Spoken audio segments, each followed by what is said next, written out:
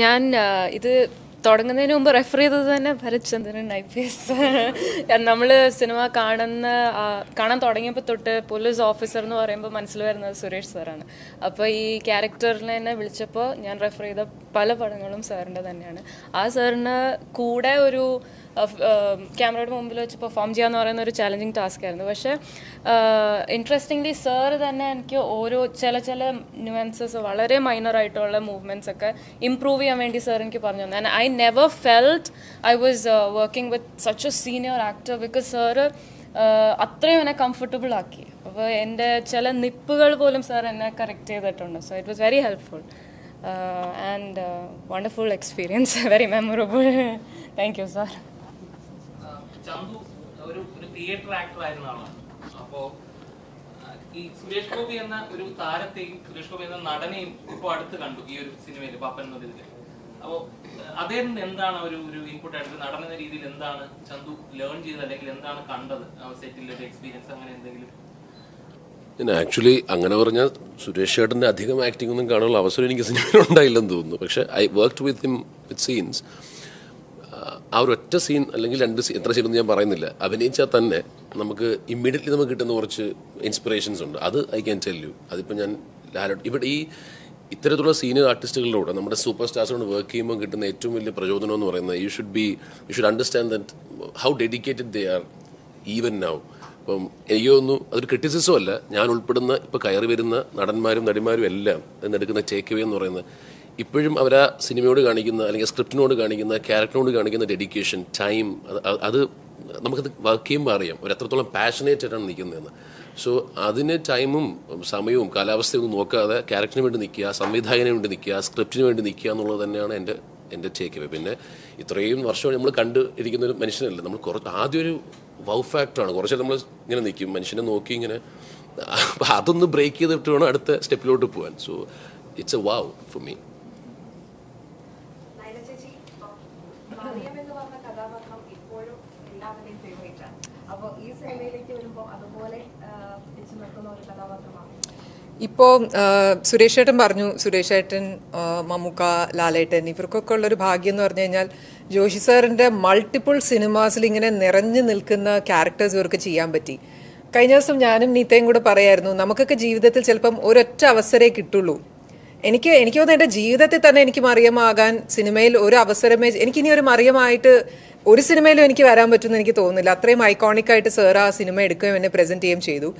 ഈ സിനിമയിൽ എനിക്ക് എന്തായിരുന്നോ മറിയം പൊറിഞ്ചു മറിയം സമ്മാനിച്ചത് അത് നീത്തയ്ക്കായിരിക്കും ഈ സിനിമ സമ്മാനിക്കുന്നത്. സോ ഈ സിനിമയുടെ ഞാനൊരു ഭാഗമാണ് എന്നുള്ളത് എനിക്ക് പറയാൻ പറ്റൂ. കഴിഞ്ഞ ദിവസം പോസ്റ്ററിൽ ഞാൻ എന്റെ photo കണ്ടപ്പോഴത്തേക്കും I was really thankful to ആ പ്രൊഡ്യൂസർ ഡേവിഡ് കാച്ചപ്പള്ളി. കാരണം ഈ സിനിമയുടെ കഥ എന്നെ വിളിച്ച് പറയുമ്പോൾ ഒബ്വിയസ്ലി ഞാനൊരു സിനിമ ചൂസ് ചെയ്യുമ്പോഴത്തേക്കും ആ ഇതിനകത്ത് എനിക്ക് എത്ര പെർഫോം ചെയ്യാനുണ്ട്? എന്റെ സ്ക്രീൻ സ്പേസ് എത്ര ഉണ്ടാകും? അങ്ങനെയൊക്കെ ഞാൻ ആലോചിക്കും. അപ്പോൾ ഈ സിനിമ വിളിച്ച് പറയുമ്പോഴത്തേക്കും ഡേവിഡ് ഏട്ടൻ പറഞ്ഞു ജോഷി സുരേഷ് ഗോപി നൈല ഉഷ എന്ന് വരണം. അപ്പൊ ഞാൻ പറഞ്ഞു അയ്യോ ഡേവിഡേട്ട എനിക്ക് ലീവും കാര്യങ്ങളൊന്നും അറിയില്ല. അപ്പൊ പറഞ്ഞു നൈല സിനിമ ഒന്ന് ചെയ്തെന്ന് കേൾക്കാം. അപ്പൊ അങ്ങനെ ഷാൻ വിളിച്ച് എന്റെ അടുത്ത് കഥ പറയുന്നു. ഞാൻ ഒന്നും ആലോചിച്ചില്ല. ഈ സിനിമയ്ക്കകത്ത് എനിക്ക് എത്ര സ്ക്രീൻ സ്പേസ് ഉണ്ടെന്നോ എനിക്ക് എത്ര പെർഫോം ചെയ്യാനുണ്ടോ ഒന്നും ആലോചിച്ചില്ല. എനിക്ക് ജോഷ് സാറിന്റെ ആ ഒരു സെറ്റിലേക്ക് തിരിച്ചു വരണം. അതായിരുന്നു എന്റെ മനസ്സിൽ and I said yes I am coming to do this film and of course with Suresh ഏട്ടൻ ലൈക്ക് ഹി ടോൾഡ് എനിക്ക് എത്രയോ വർഷങ്ങളായിട്ട് എനിക്ക് പരിചയമുള്ള ഒരാളാണ്. എന്നിട്ട് ഞങ്ങൾ ഓൺ സ്ക്രീൻ റൊമാൻസ് ചെയ്തു ഞാനും സുരേഷ് ഏട്ടനുമായിട്ട് ഞാൻ പൊറഞ്ചൂൽ അതിൽ റൊമാൻസ് ആണ് അതിലെങ്കിലും ഞാൻ ജോജുമായിട്ട് അത്ര റൊമാൻസ് ചെയ്തിട്ടില്ല. പക്ഷെ ഇവിടെ ആദ്യമായിട്ട് ഞാൻ ഭയങ്കര റൊമാൻസ് സുരേഷ് ഏട്ടനുമായിട്ട് സോ കെട്ടിപ്പിടിക്കുക തൂക്കി ഓക്കെ സോ അത് ഭയങ്കര ഒരു എക്സ്പീരിയൻസ് ആയിരുന്നു. ആൻഡ് ഇന്നലെ ഞാൻ ശരിക്കും പോസ്റ്ററിൽ when I saw my face along with these actors I was thinking ഞാൻ എന്തെങ്കിലും കാരണം കൊണ്ട് ഈ സിനിമ ഞാൻ ചെയ്തില്ലായിരുന്നെങ്കിൽ എനിക്ക് ഭയങ്കര നഷ്ടമായി പോയേനെ. കാരണം ഈ പാപ്പൻ എന്താണ് ഫെച്ച് ചെയ്യാൻ പോകുന്നതെന്ന് എനിക്കറിയാം. ഈ സിനിമ കണ്ടതുകൊണ്ട് നിങ്ങൾ എങ്ങനെയായിരിക്കും ഈ സിനിമ സ്വീകരിക്കാൻ പോകുന്നതെന്ന് എനിക്കറിയാം. സിനിമയിൽ ഫുള്ള് കൈയടി കൊണ്ടുപോകാൻ പോകുന്നത് ഇവരൊക്കെ ആണെങ്കിൽ പോലും അതിനകത്ത് ഞാനും ഭയങ്കരമായിട്ട് അഭിമാനിക്കും. കാരണം the cinema belongs to me also now I am inside the circle to be proud of the film so അതുകൊണ്ട് അതാണ് എനിക്ക് പറയാനുള്ളത്. ഇതിനകത്ത് അങ്ങനെ ഒരു മറിയം പെർഫോമൻസ് ഇല്ല. മറിയം അല്ലാതെ ഒരു സാധാരണക്കാരിയായിട്ട് ഞാനൊന്ന് അഭിനയിച്ച് നോക്കിയിട്ടുണ്ട്. എങ്ങനെയാണോ നോക്കിയിട്ട് വരാം. ഞാൻ ആ ഫൈനൽ ലൈൻസിനെ ഞാൻ ആക്സെപ്റ്റ് ചെയ്യുന്നു. ഇടയ്ക്ക് പറഞ്ഞ ഒന്ന് രണ്ട് ഏരിയയിൽ പറഞ്ഞ മൂന്ന് നാല് കാര്യങ്ങൾ പ്യോർ ഒബ്ജക്ഷൻ എന്താ? ഈ സിനിമയിൽ മൈക്കിളിനും മാത്യു ഇബ്രാഹിം മാത്യു മാത്തനും വിൻസി മാത്തനും വെൻസി എബ്രഹാം മാത്യു. ഈ മൂന്ന് പേർക്കിടയിൽ. പിന്നെ കനിഹ. സൂസൻ.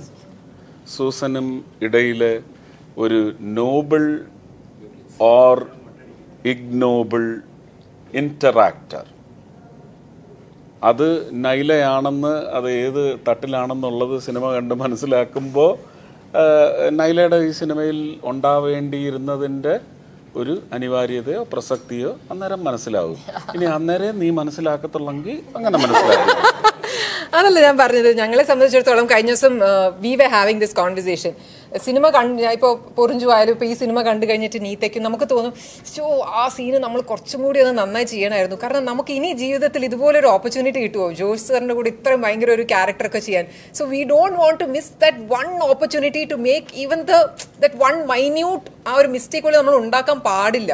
കാരണം എനിക്ക് തോന്നുന്നില്ല ഇവർക്കൊക്കെ കിട്ടുന്നത്ര ഓപ്പർച്യൂണിറ്റി നമുക്കിനി ഇങ്ങനെ ഒരു ഫിലിമിന്റെ ഭാഗമാകാൻ പറ്റും. So this is what I try to explain അപ്പൊ ഇതിനകത്ത്. അങ്ങനെ നോക്കിയാൽ Kaniha where does Kaniha stand yeah yeah yeah of course അല്ലേ? സൂസൻ. സൂസന്റെ മകൻ മൈക്കിൾ. കഥ ഇപ്പൊ മുഴുവൻ പറയും തോന്നുന്നു. നാൻസിയുടെ മകൾ നമ്മൾ വിൻസി. പറഞ്ഞു ഇതുവരെ. വിൻസിക്ക് പക്ഷെ അങ്ങനെ പറ്റൂല. ഞാൻ ഞാൻ ഈ. സിനിമയ്ക്കകത്ത് ചിലപ്പോ കല്യാണം കഴിച്ചു തന്നെ പറ്റില്ല കാമുകിയാകാം. മകളൊക്കെ എങ്ങനെയുണ്ടെന്നൊന്നും എനിക്കറിയത്തില്ല. ഗോകുലിന് ഞാൻ സിനിമയിൽ പാപ്പനാണോ എന്ന് അല്ലേ? അത് കനിക കനിക ഏയ് ഞാനൊരു പസൽ ഇടുകയല്ല. യു ക്രാക്ക് ദ പസൽ കനിയു കനിയു No, but even if you it but the film will the പക്ഷേ ഫിലിം ഈ- വിൽ ക്രാക്ക് ദ പസൽ